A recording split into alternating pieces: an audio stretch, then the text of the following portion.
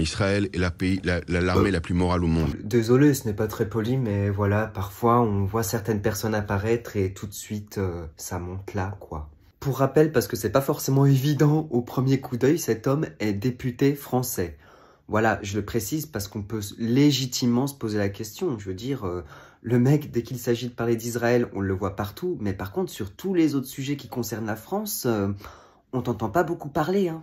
Je veux dire, c'est normal ça d'avoir un député français qui fait la propagande d'une autre armée et qui n'en a strictement rien à faire des Français. Parce que bon, à ce stade, tu peux carrément le dire clairement, meilleur Habib. Hein. je veux dire, on a déjà compris. Après, pour te donner au moins un bon point qui te permet d'être député, c'est ta page Wikipédia avec les affaires dans lesquelles tu traînes. Là, on reconnaît que tu es un député, un politique français. Sur ça, t'es dans le bon. Alors toi, par contre, t'es pas le député le plus moral au monde. Hein. あさ、ののの。